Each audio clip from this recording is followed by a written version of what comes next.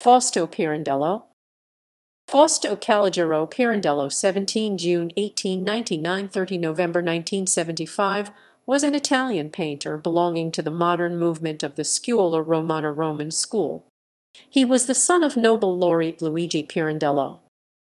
Biography After a short experience in Paris, where he met the most important artistic personalities of the time between 1920 and 1930, Pirandello entered the movement of Scuola Romana, distinguishing himself for originality and solitary exploration.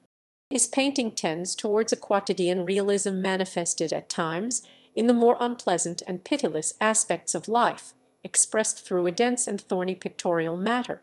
His vision is an intellectualist one, which however translates even the most brutal naturalist datum into a sort of magic realism with an archaic and metaphysical taste. Pirandello's style goes from cubism to tonalism to realist expressionist forms important in this period was his participation to the activities of literary magazine Corrente di Vita. Pirandello's work became an impressive testimony of a poet who interpreted in painting the analyzing and psychological spirit of his father Luigi. Pirandello changed his style around the 1950s, reabsorbing influences from the Cubists, i.e. Georges Braque and Pablo Picasso, and thus living the troubled and difficult phase affecting the whole Italian painting art between realism and neo-cubism, yet achieving through the deformations of an expressionist approach original formal solutions in between.